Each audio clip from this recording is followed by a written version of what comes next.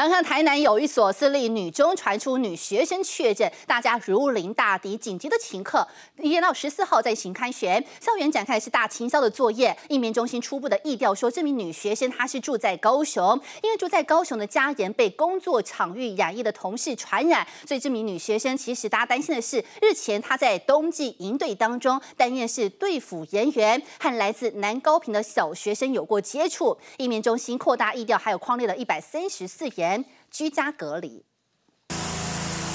开学第一天，这所台南的私立中学紧急全校停课，如临大敌，展开大清消，校园空荡荡，气氛却相当不寻常。因为校方接到通知，一名担任营队工作人员的学生确诊了。呃，参加我们台南市的这个某高中的冬令营，作为队服老师。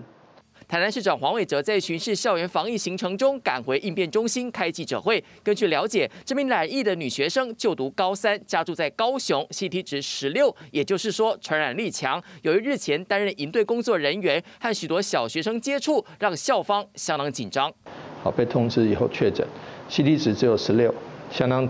传染性相当高，CT 值相当低。台南市府应变中心接到消息以后，初步议调，从校方给家长的通知书中得知，这所私立女中是在二月八号和九号举办小公民活动，高中生担任队辅人员，因为住在高雄家人受工作场所的同事染疫之故确诊了。由于参加营队的学生来自台南、高雄和屏东，台南市府也展开跨县市的议调，并通知高平卫生局的教职员，还有这个啊参加的学员。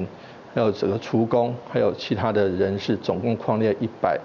呃，三十四位。由于参与营队的小学生也曾到过一家社教机构，机构也贴出了公告，十一和十二号紧急停课，十四号再恢复营运。跟家长全家 PCR 检测是阴性。针对这名担任营队工作人员的女学生确诊，应变中心疫调后公布了初步活动足迹，时间从七号到九号，搭乘台铁来往大桥和冈山，包括营队的队辅人员、高中教职员和参加营队的学生和接触过的家长，共有一百三十四位。被框列居家隔离，而屏东县府也已经找到了两名参加营队的学生，也把两名学生和六位的同住家人框列隔离。至于八人的 PCR 裁检全部为阴性，而南市府也贴出公告，凡是和女学生在七号和九号这三天搭乘同班次区间车的乘客，也尽快到永康卫生所快筛。记者综合报道。